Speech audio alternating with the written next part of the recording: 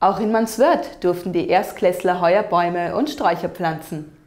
Die Kinder hatten viel Spaß und so mancher stellte sich sehr geschickt an.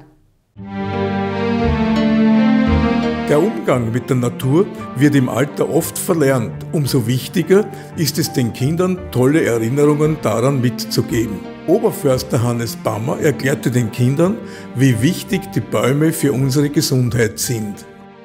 Es ist sehr wichtig, dass die Kinder einen Baum pflanzen können. Äh, ist gar nicht gesagt, dass sie irgendwann einmal im Leben noch eine Möglichkeit haben, einen Baum zu pflanzen. Ist eine gute Erinnerung und wenn man äh, dann fortsetzt und sagt, wie wichtig also der Wald ist, dann hat man auch eine Beziehung, wenn man selber mal einen Baum pflanzt, wie, wie mühselig das ist. Und ich finde eigentlich, diese Aktion ist äh, ins Leben gerufen worden in Schwächert vor einigen Jahren und ist sehr wichtig und sollte auch fortgesetzt werden.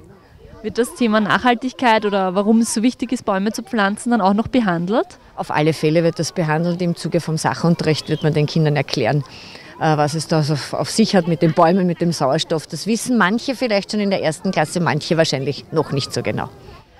Werden die Kinder auch wieder ihre Bäume besuchen kommen? Das glaube ich bestimmt. Sie haben sich jetzt schon ihre Bäume ganz genau gemerkt. Ich habe schon gehört, zwei Mädchen haben sogar schon Namen vergeben für die Bäume. Also ich denke, sie werden sicher auf Besuch kommen.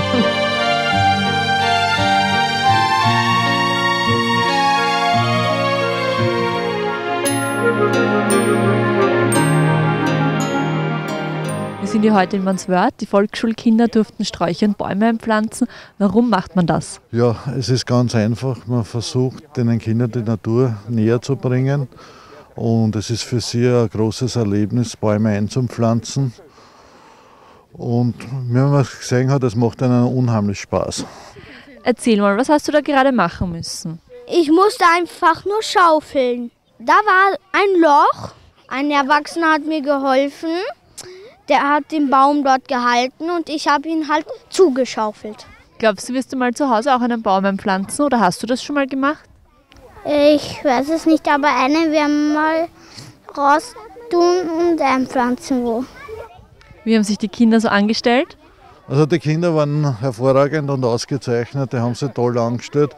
Also die 24 Sträucher oder Bäume waren im Nu bepflanzt und es hat natürlich einige Vorbereitungsarbeiten durch die Stadtgärtnerei Schwächert war erforderlich.